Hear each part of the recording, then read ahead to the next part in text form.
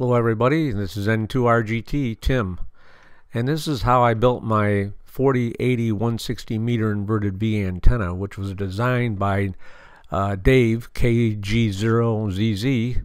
This is Dave. He has a website and he's also on Facebook. He has some great projects. This is the uh, 40, 80, and 160 meter antenna. And uh, again, this is one of my favorites, and I think you're really going to enjoy this. But after you've seen all of those videos, I'm sure you understand how to do this, and all you need now are just the sizes of the antenna. This is Dave's feed point connector, and uh, he suggested uh, doing something to hold your coax so all the weight isn't on the on the feed point there. So I did it with zip ties, made a little chain of zip ties. So here's my tower and I've raised the uh, inverted V up it's it's about 40 feet I believe. And one leg goes down there's the uh, 80 meter coil. And then down here to 160 meter coil. Then finally I've got it tied off to the base of this tree on the one leg. Now the other leg goes over the top of the house. This is the only uh, way I had room to put the antenna up. So you can see it's uh, only a couple feet over the top of the house. Right there is the 80 meter coil. And then it runs on over and attaches to this little tree here. I'll show you a little better angle on it. So there's the tree, there's the 160 coil. There's the 80 meter section, which is right over the house. So let's go into the shack and uh, check the SWR. Put it on the analyzer.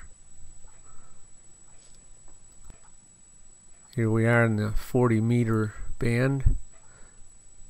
Looks like uh, SWR is very good down in the lower section of the band.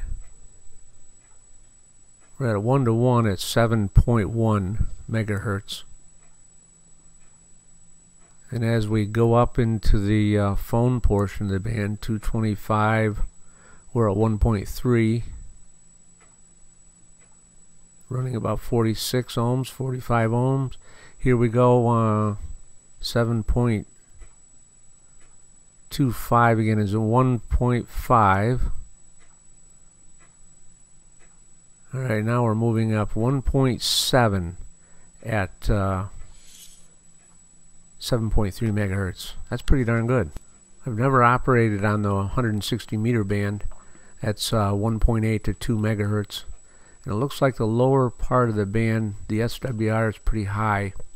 But as I get up near 1.9, you can see SWR drops got a one-to-one -one match there about 1.9 so things are looking good from about 1.9 to 1.92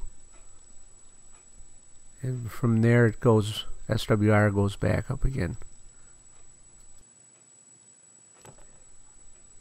Now I'll come back down and we can watch our SWR fall we get down around 1.9 again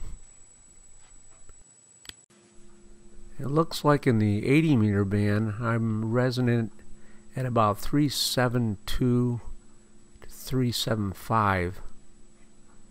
So a very narrow part of the band right here. Things are dropping down. 1.4. So I'll do a little experimenting and see if I can improve uh, 80 meters and maybe lower uh, the 160 meter section too.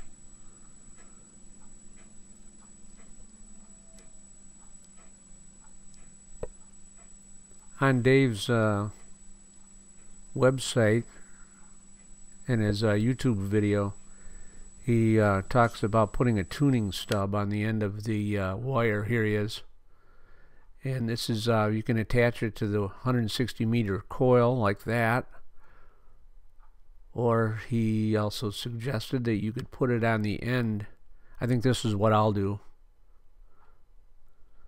So I'll attach the tuning stub and, and see uh, what happens. I'll experiment a little bit and uh, maybe get in contact with Dave. He's very good about offering advice and uh, he gets right back to you. There's his Facebook page. So he's got a website and a Facebook page. It's a pretty cool antenna. One wire, three bands. Looking good so far.